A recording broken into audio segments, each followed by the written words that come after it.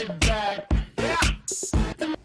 So before every project, I like to do a little dance. So come on and let's dance. All the boys don't know how to act. I think it's special what's behind your Hi everyone, my name is Cesar Chavez and I'm so excited today to show you an amazing DIY project for you and your family.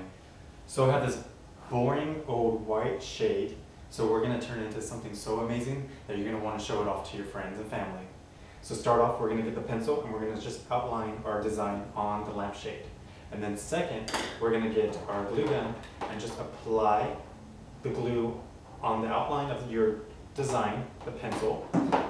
And then third, we're going to get the ribbon, any color that you choose, and we're just going to go ahead and outline our uh, glue. We're going to apply it on our glue, and then when we're all done, we're going to get an amazing and beautiful lampshade, just like this.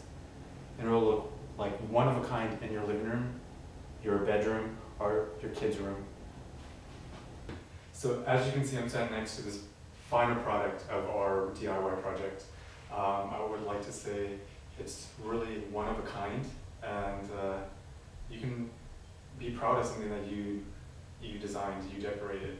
So um, I just want to say thank you to uh, you guys. And if uh, you guys have any questions for me to answer, feel free to contact me at CesarChavez8525 or just go and follow me on Instagram, which is Caesar20985. Until next time, thank you.